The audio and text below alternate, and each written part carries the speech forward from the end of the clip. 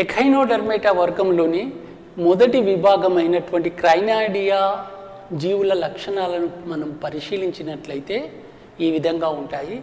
ఈ క్రైనాయిడియా జీవులను సాధారణంగా సీ లిల్లీస్ అని పిలుస్తారు. వీటి యొక్క రూపము ఈ పటంలో చూపించిన విధంగా లిల్లీ ఆకారం లోపల సముద్రం లోపల ఉండడం వలన వీటిని సీ లిల్లీస్ అని సాధారణంగా పిలుస్తారు. ఇవి స్థానబద్ధ జీవులు. ఇవి సముద్రపు నీటి లోపట ఉన్నటువంటి వస్తువులను అంటుకొని జీవిస్తాయి. ఉదాహరణకు కొన్ని జీవులు వృంతాన్ని లేదా స్టాక్ను కలిగి ఉంటాయి. మరికొన్ని జీవులు సిర్రే అనేటువంటి ఈ నిర్మాణాలు వెంట్రుకల వంటి నిర్మాణాలు ఉంటాయి.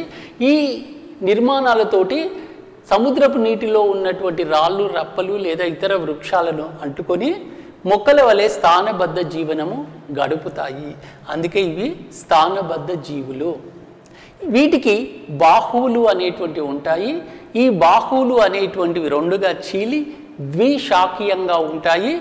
మరియు వీటికి పిన్యూల్స్ అనేటువంటి నిర్మాణాలు ఉంటాయి. ఇక్కడ చూడండి మీరు ఇవన్నీ కూడా బాహువులు.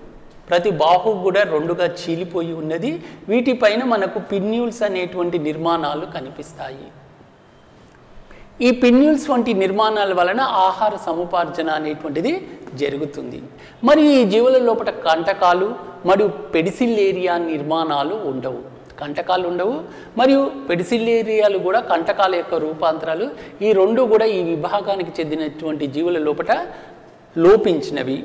నాలికా పాదాలకు చూషకాలు అనేటువంటివి ఉండవు. నాలికా పాదాల యొక్క ముఖ్య విధి చలనము లేదా గమనము జరపడము. వీటికి ఏ రకమైనటువంటి చూషకాలు ఉండే కనుక గమనం జరిపేటప్పుడు అధస్థలాన్ని అంటుకోవడానికి తోడ్పడవు.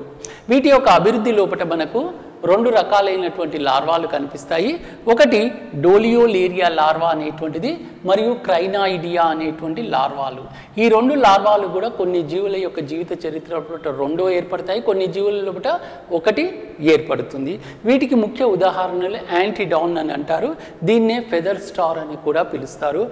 మరొక ఉదాహరణ నియోమిట్రా అనేటువంటి దీన్ని కూడా ఫెదర్ స్టార్ అని పిలుస్తారు. మరియు టైలోక్రైనస్ అనేటువంటిది వీటికి ఈ విధంగా సిర్రే అనేటువంటి దారపోగుల వంటి నిర్మాణాలు కలిగి ఉండడం వల్ల వీటిని సిర్రే కలిగినటువంటి లిల్లీ సీ లిల్లీస్ అని పిలుస్తారు. మరి కొన్ని జీవుల లోపల ఈ సిర్రే అనేటువంటిది ఉండదు. ఉదాహరణకు బాంతిక్రైనస్ అనేటువంటి జీవి లోపల సిర్రే లేనటువంటి సీ లిల్లీలుగా పిలుస్తారు. ఇవి స్వేచ్ఛా జీవనం గడపడానికి అవకాశం ఉంటుంది.